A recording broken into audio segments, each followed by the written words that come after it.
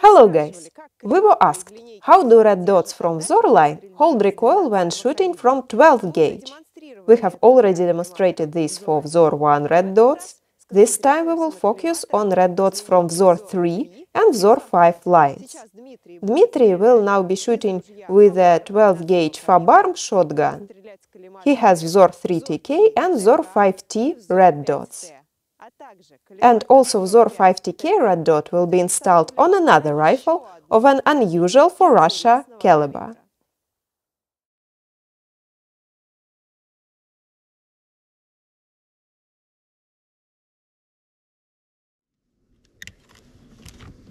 Now Dmitry will shoot with VZOR 3 TK red dot.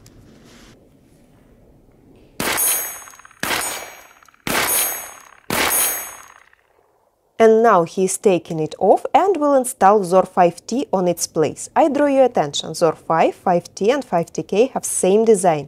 They differ in aiming marks. The same applies to VZOR 3 family.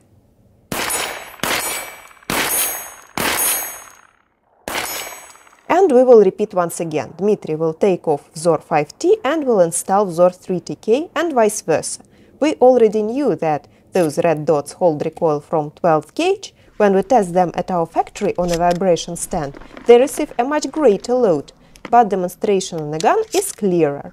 We decided to demonstrate not only stability when firing with a large caliber, but also repeatability when removed and then installed again on a quick-release mount. Dmitry zeroed both red dots in advance and now one by one puts them in the same place on Picatinny.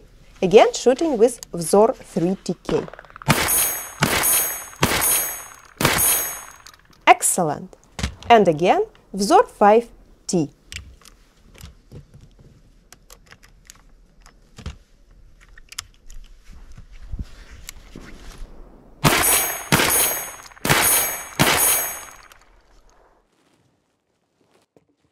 Well, with 12 gauge everything is clear, but we decided to test the red dot on one more rifle. Marlin in caliber 45 by 70, an exotic guest in our area, but at the same time it has good recoil.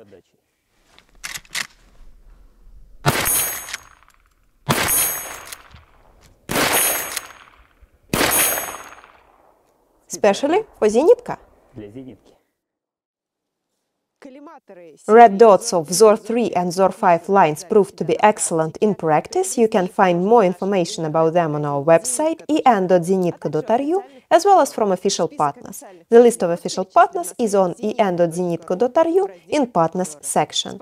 Thank you for pressing the like button, thank you for sharing the video with your friends. If you have questions, ask them in comment section and we will see you soon. Goodbye.